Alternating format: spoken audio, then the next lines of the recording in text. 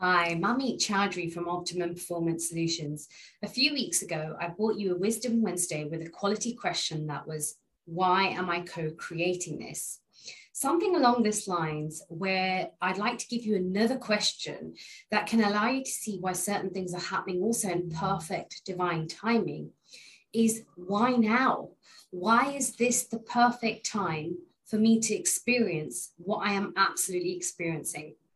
Let me give you an example. I was working with a client this week and we were going through a few challenges that he'd had in earlier stages of his life.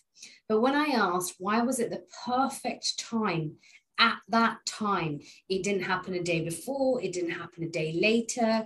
Everything was happening in a sea of divine intelligence. Why was that happening for, at the perfect time for you? When we asked this quality question, um, you know, he was able to see so many benefits as to why that was the perfect timing. And then you kind of flip it on the head with something I call, you know, the magic wand.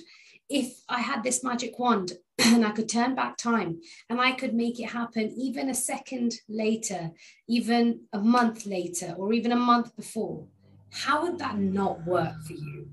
Because you see, as I said before, things are happening in a sea of divine intelligence, which means they're happening in divine timing at all times. But sometimes our awareness doesn't see it.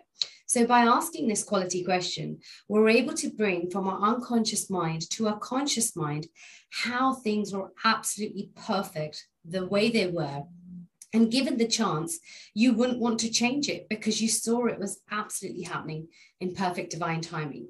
So I encourage you that this week, when you are feeling challenged or when you are contemplating on a challenge that you've had in the past, ask yourself, why was that the perfect time in my life, according to my priorities, according to my mission, for me to experience that in my life?